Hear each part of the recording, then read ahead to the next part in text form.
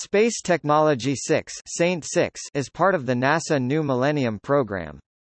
Saint 6 is a subsystem technology demonstration that consisted of two separate projects, the Autonomous Sciencecraft experiment on board the Earth observing one satellite and the Inertial Stellar Compass ISC experiment aboard TacSat-2.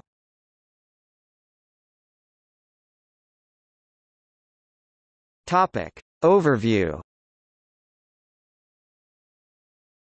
The Autonomous Sciencecraft Experiment ASE is a software experiment that has been operating on board the Earth Observing 1 mission since 2003.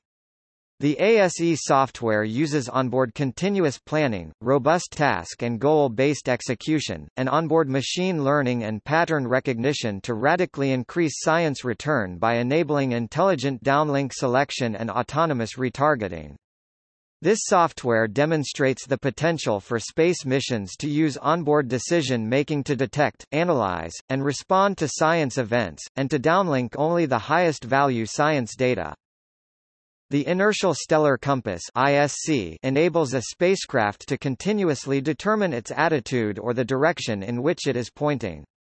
It also enables a spacecraft to recover its orientation direction and pointing after a temporary malfunction or power loss. This is done by combining a miniaturized star camera and a gyro system. Although this is not a new concept, the small size and low power consumption are revolutionary and an important feature for the new, smaller spacecraft and satellites of the future.